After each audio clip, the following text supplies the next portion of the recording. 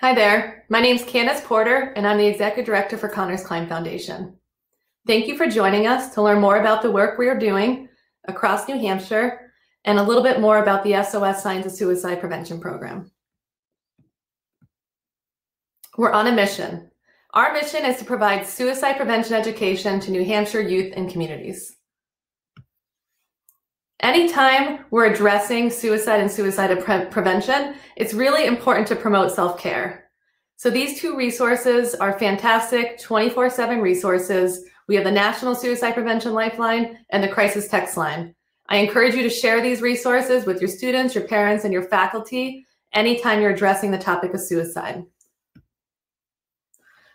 So Connor's Climb was Foundation was formed after the unexpected death of Connor Ball in 2011 to suicide. His family and friends decided that no one else should experience such a profound and life altering loss. Connor's Climb Foundation is the result of their love of Connor and our commitment to end youth suicide. We are a nonprofit 501c3. We know that suicide is the second leading cause of death for young people between the ages of 10 to 24. But there is good news suicide is preventable. So we are raising awareness and working to reduce the stigma around mental health and equipping youth educators and communities with tools and resources to focus on the vulnerable age group of 10 to 24 year olds.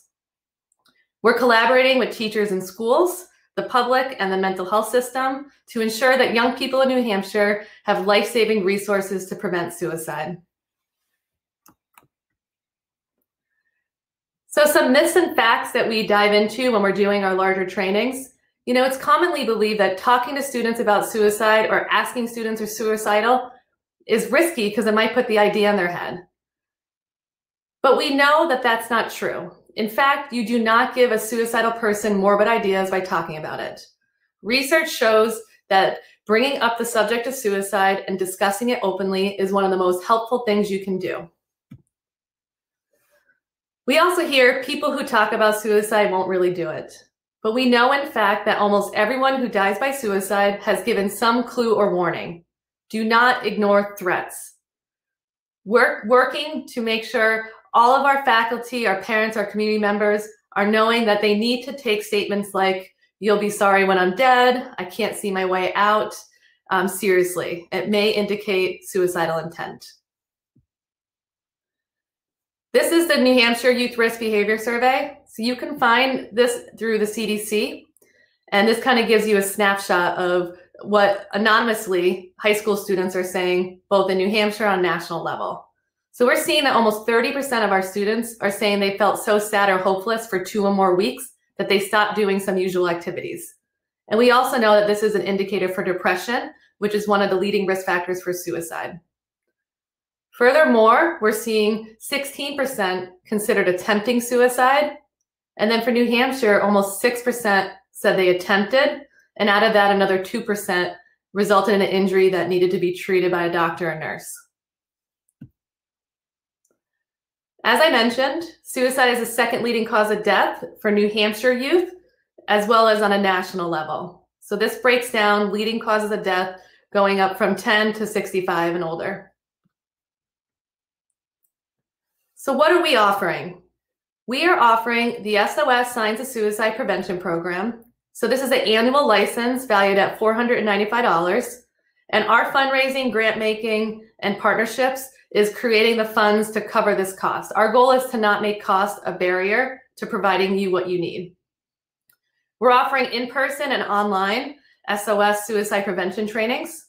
So this can range from a half to full day implementer trainings. Currently, we're doing these remotely, so we're doing them via webinars.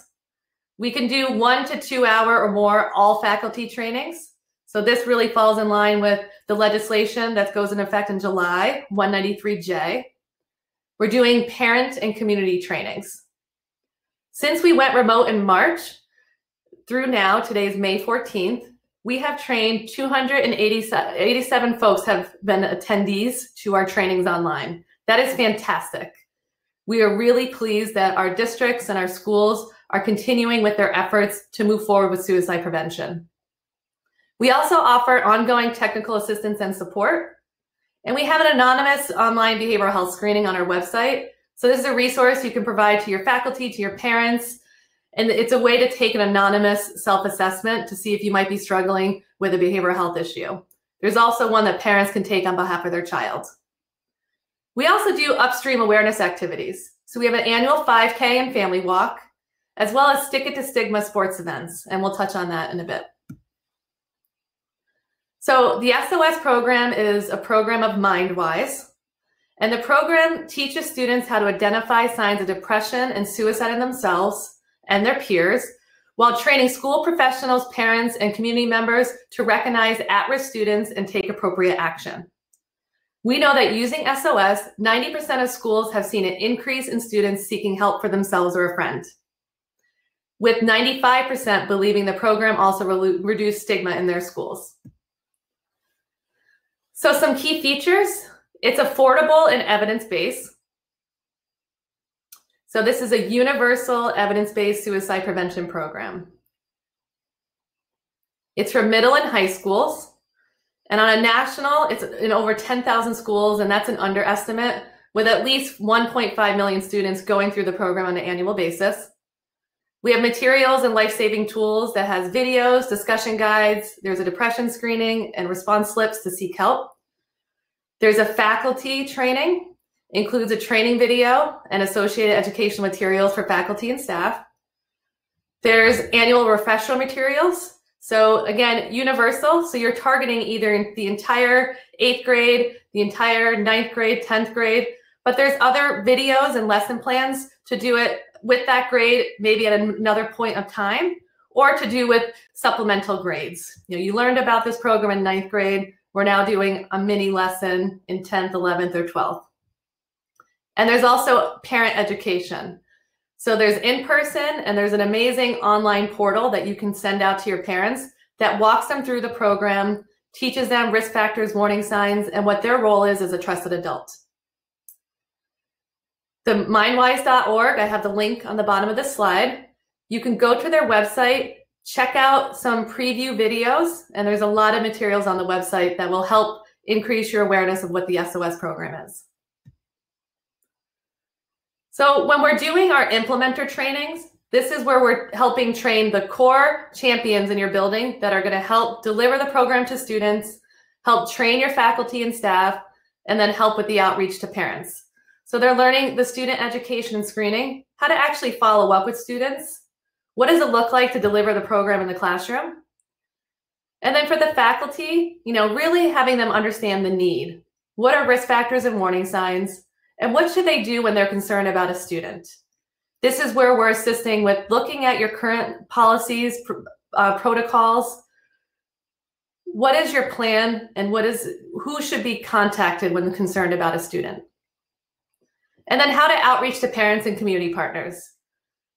Really, you know, what do we do? How do we communicate? And then how do we collaborate with our community-based resources? So from the student side, you know, the goal is to increase knowledge and adaptive attitudes about depression, encourage individual help seeking and help seeking for a friend. We're reducing stigma, engaging parents, faculty, and school staff as partners, and then again, encouraging community-based partnerships. The key teaching message for both the adults and the students is act. How do you act? How do you acknowledge that you're seeing signs of depression and suicide in yourself or a friend and that it's serious? Care. How do you let your friend know that you care about them and you're here to help? And then tell. Tell a trusted adult. Similar for the adults.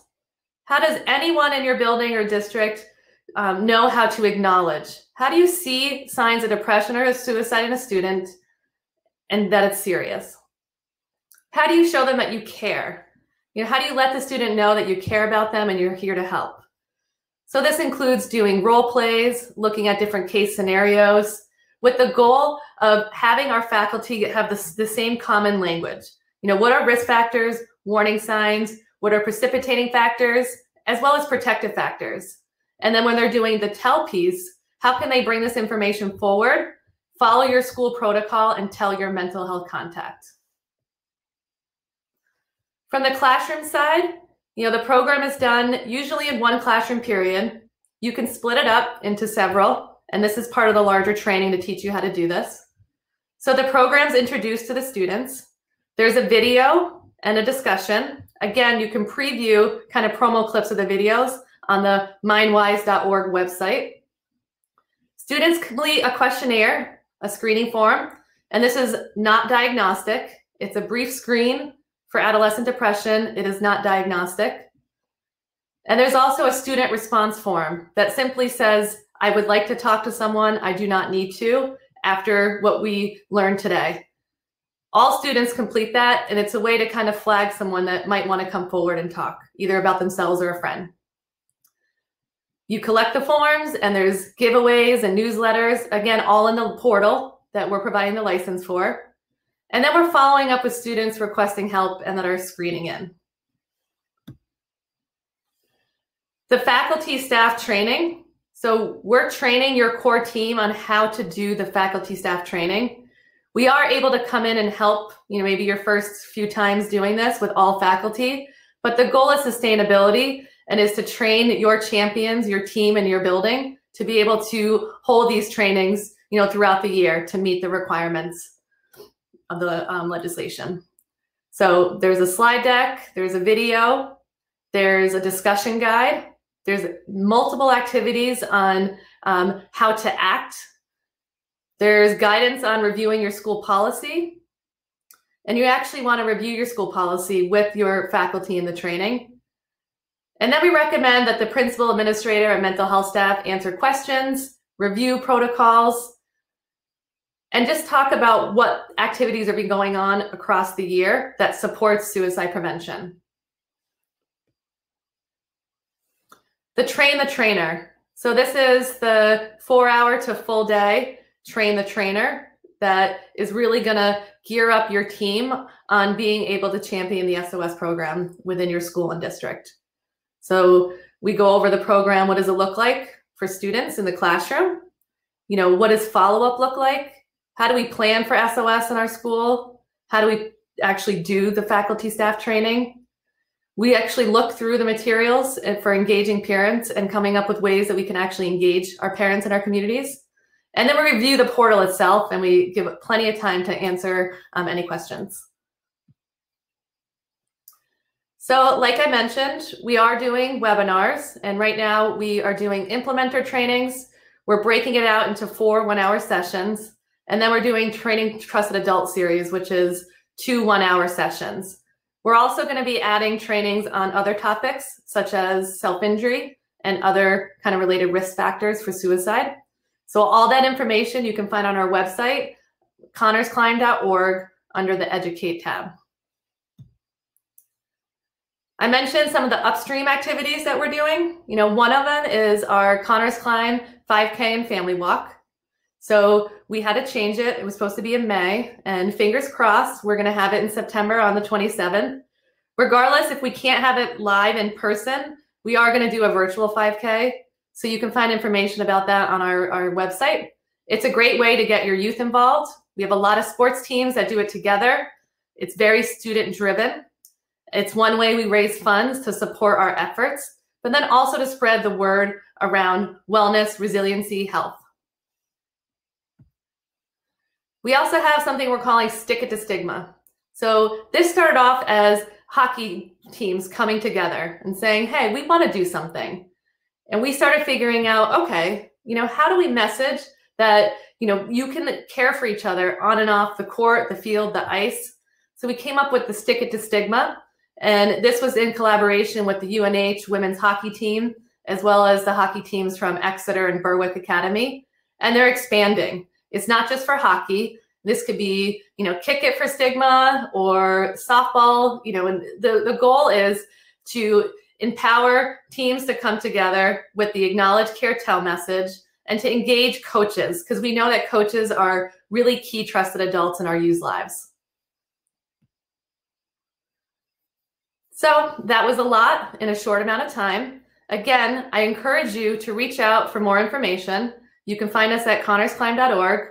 My email is candice.porter at connorsclimb.org, and we look forward to connecting with you soon. Thank you and have a great day.